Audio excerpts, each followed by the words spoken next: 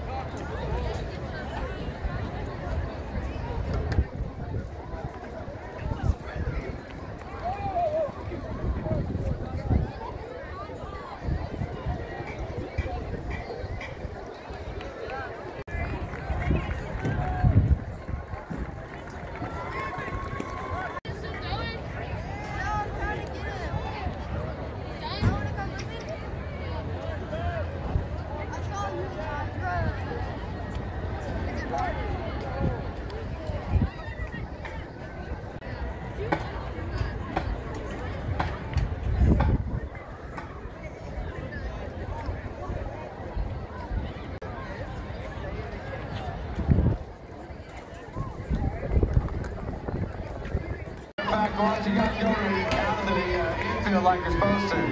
Coaches, out. Why don't you guys please go up there in your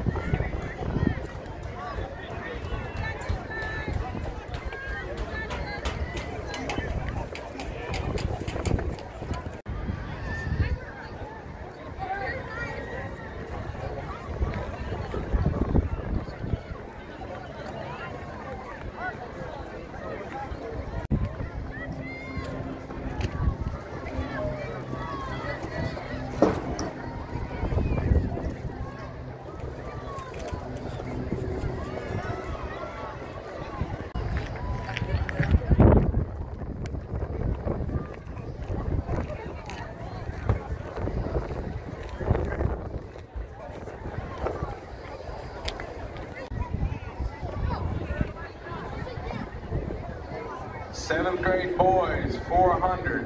Seventh grade boys, 400. You can report to the heating area.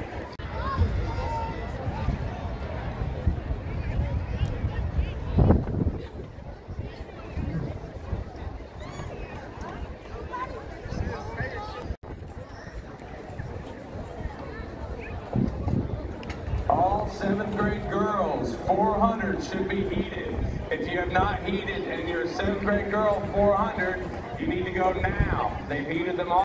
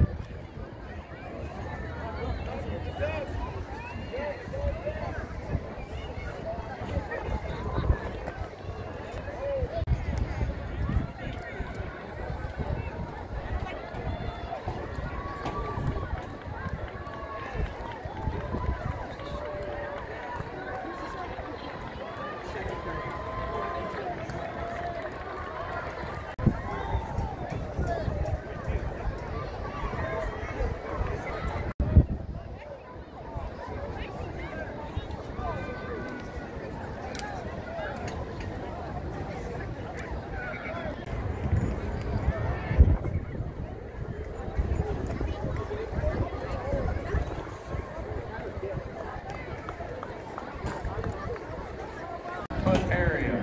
Seventh grade girls, shot put needs to report to the shot area to check in now.